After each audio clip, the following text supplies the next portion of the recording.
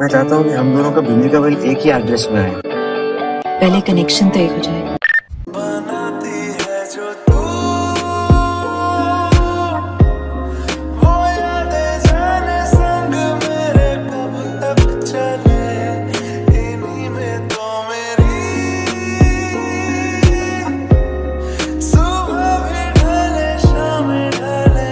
someday